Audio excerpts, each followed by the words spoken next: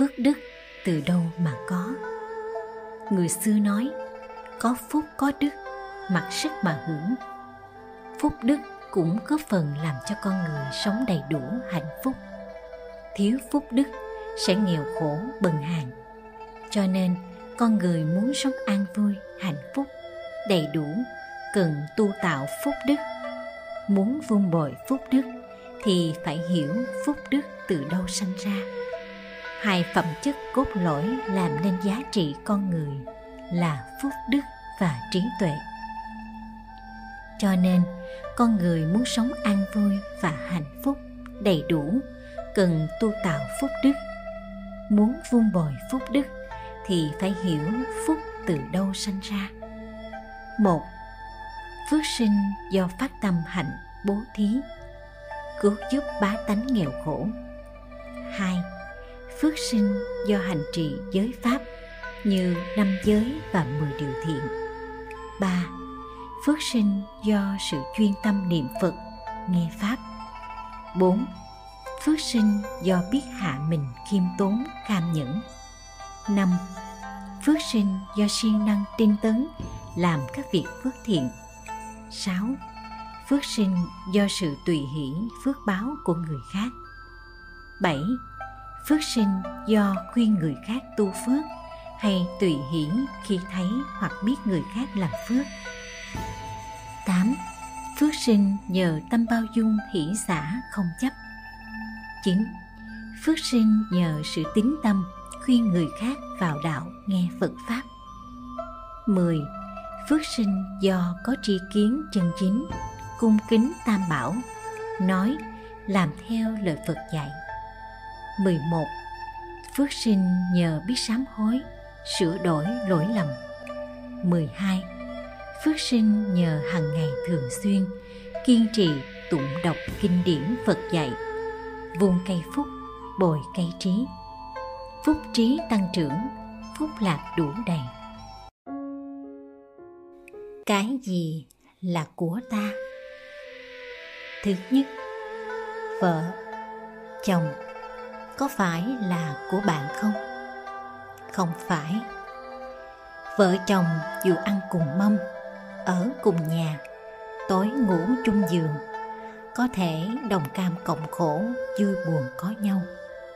Nhưng sau cùng cũng có lúc chia tay.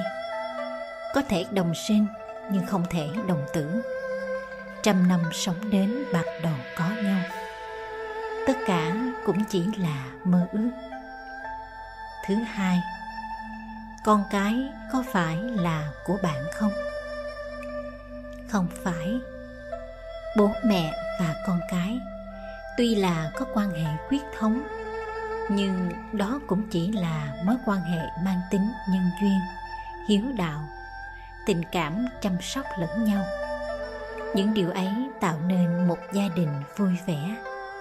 Nhưng sau cùng khi bạn bước sang thế giới bên kia. Con cái cũng chỉ có thể tiễn bạn đi, chứ không có khả năng đưa bạn trở lại. Thứ ba, tiền tài có phải là của bạn không? Không phải. Bạn ra sức nỗ lực kiếm tiền, sao rồi lại nghĩ cách tiêu đi? Cho dù tài khoản ngân hàng của bạn có bao nhiêu tiền đó cũng chỉ là vật ngoài thân. Sinh không đem đến, tử không đem đi. Thứ tư, nhà cửa, xe cộ, có phải là của bạn không? Không phải.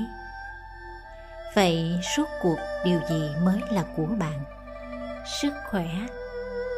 Thân thể của bạn cũng không phải của bạn. Chúng thuộc về bốn duyên đất nước, gió, lửa, tụ hội. Vì thế cũng vô thường. Nhưng trên sự tương đối mà nói, thân thể bạn có khỏe mạnh thì cuộc sống của bạn mới có chất lượng, sinh mệnh mới được kéo dài. Không có một cơ thể khỏe mạnh, đồng nghĩa với không có gì cả. Cho nên chúng ta sống được một ngày cũng là một ngày phúc phận cần phải trân quý chính mình. Trí tuệ, sai lầm lớn nhất của đời người là đánh đổi sức khỏe để lấy vật ngoài thân. Trên thế gian, không có gì quý hơn một sức khỏe dồi dào và một tinh thần mạnh mẽ khởi đi từ trí tuệ nội tại của bạn. Bởi vậy, nhà phật có câu, duy tuệ thị nghiệp chỉ có trí tuệ của bạn là sự nghiệp đích thực của bạn sát thân là cây đèn, trí tuệ là ánh sáng của ngọn đèn bạn hãy khéo nhận ra đâu là gia bảo thật sự và sử dụng vào những việc ý nghĩa nhất cho kiếp sống của mình. 10 hạnh lành Phật dạy, Cuộc sống vốn ngắn ngủi, Làm điều tốt đẹp còn chưa được bao nhiêu.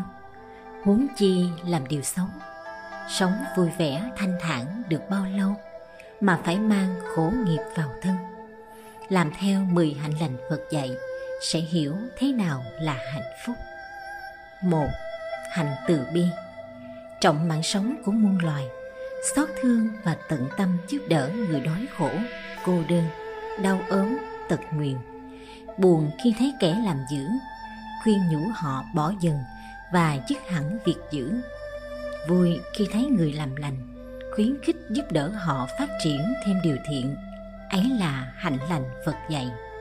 Hai, hạnh hỷ xã ai chê bai không giận, ai khinh ghét chẳng hờn đại lượng với người chống đối lại mình, lấy ơn trả oán, chứ không lấy oán báo oán trong đời chỉ có những người đã và đang thông cảm hiểu mình, và những người chưa thông cảm hiểu mình, tuyệt nhiên không có ai là kẻ thù. Ba, hạnh nhu hòa.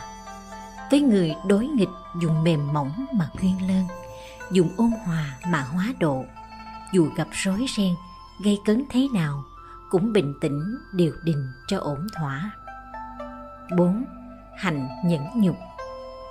Vui chịu đủ các phương thử thách. Gặp biến cảnh thế nào cũng biết cách nương theo. Không phiền muộn trách than, Không ngã lòng thối chí. Thành công không kiêu căng, Thất bại không nản chí. Năm, Hạnh chí thành. Thành thật với mọi người, dù trong đạo hay ngoài đời cũng vậy. Từ lời nói đến việc làm, nhất nhất đều ngay thẳng thật thà xử sự chẳng mưu mô lừa đảo. Tự mình siêng năng học hỏi để tiến bộ không ngừng. Đem sự hiểu biết thực lòng giúp người được hiểu biết để cùng nhau làm lợi ích cho chúng sinh. 6. Hạnh tinh tấn. Cố tâm tiến lên con đường lập công bồi đức. Trong không khởi một niệm ác để tâm hồn luôn thư thái. Ngoài không biết nhát tháo lương dù lâu dài cũng một mực chăm lo tu học và chăm làm việc thiện, gắn làm tròn bổn phận mình với đạo, với đời. Bảy, hạnh bình đẳng. Xem vạn vật vốn đồng thể, xem muôn loài đều đồng tánh. Đối đãi với người không phân biệt giai cấp, quốc tịch, màu da, chẳng so đo phú quý, sang hèn. Lấy đức làm trọng, lấy tình người mà đối đãi nhau không cậy thế ỷ quyền không xu phụ người thế lực. Xem ta như người xem người như ta. Tám Hạnh bác ái. Xem tất cả chúng sanh là con của một cha Thương người mến vật. Trọng mạng sống muôn loài không phạm giới xác tiến lên một bậc tùy duyên mà cứu vật cứu người. Chín, hạnh tự tại. Phàm ở đời lâm vào cảnh ngộ nào cũng biết tùy phận mà yên. Gặp may không đắc chí, gặp rủi chẳng nao lòng. Được ca ngợi không tự cao, bị chê trách không oán giận. Gặp cảnh khổ hay vui, lành hay dữ, đều biết đó là nhân quả tạo ra, nên tâm không dao động. 10. Hạnh giải thoát. Trong không giấy lên vọng tưởng Ngoài không mắc kẹt cảnh trần, Tâm cảnh không hai, Thân Phật làm một, Tùy duyên với công việc mà không vướng mắc. Siêng làm mọi việc lợi ích quần sanh Mà thật thấy như không làm. Hạnh lành phật dạy chứa cả đạo cả đời, vừa là tôn giáo, vừa là đạo đức. Người sống mà có đạo hạnh bậc ấy thì khổ não nào làm vướng bận được tâm tư. Mà không khổ không phiền, ấy là đường đến hạnh phúc. Nam mô bổn sư thích ca mâu ni phật. Nam mô a di đà phật. Xin hồi hướng công đức này cho tất cả chúng sinh đời này và mãi mãi đời sau, được theo chánh pháp nhiệm màu, được lan tỏa chánh pháp muôn nơi, tinh tấn tu tập, đạt giác ngộ, giải thoát.